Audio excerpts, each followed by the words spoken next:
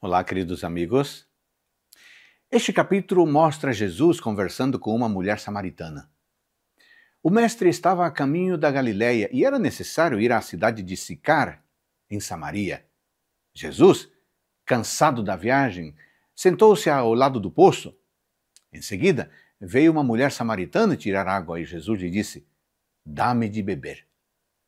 Em resposta, a mulher disse: Como sendo tu judeu me pedes de beber a mim, que sou mulher samaritana? A história revela que entre judeus e samaritanos existiam alguns preconceitos, os quais Jesus quebrou. Primeiro, muitos afirmavam que falar com uma mulher na rua não era bem visto. Segundo, judeus e samaritanos não falavam uns com os outros. Nesta história, nota-se que Jesus está prestes a se apresentar à mulher como o Messias.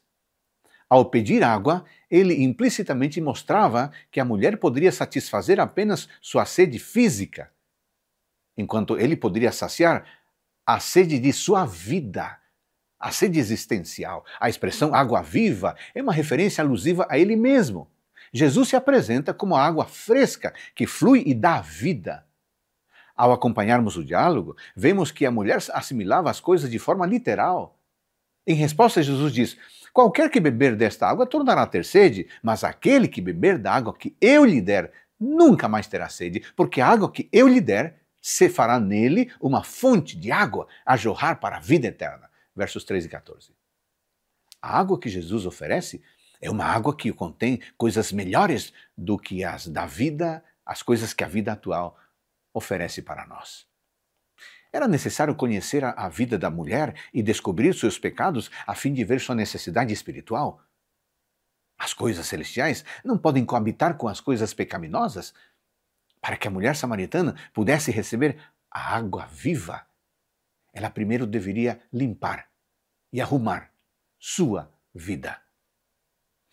A segunda parte da conversa está relacionada à verdadeira adoração o mestre menciona que os verdadeiros adoradores adoram o Pai em espírito e em verdade. Isso mostra uma adoração sincera, genuína, fervorosa. Havia preconceitos sobre o local de adoração, mas Jesus quebrou esse preconceito, dizendo que não é local o que importa, mas a forma como adoramos. Portanto, ele menciona que o tempo dos verdadeiros eh, adoradores é agora, no presente, não num tempo futuro, e é uma adoração em espírito e em verdade. Em conclusão, a verdadeira adoração que o Senhor requer está ligada à pureza espiritual que cada pessoa precisa. Não é congruente oferecer uma adoração genuína, verdadeira e aceitável se houver águas estagnadas do pecado em nossa vida. Hoje, Jesus faz o mesmo convite feito àquela mulher samaritana para você, de buscar a vida eterna que está em Jesus. E aí? Você deseja aceitar esse convite? Aceite-o, pela graça de Deus. Amém.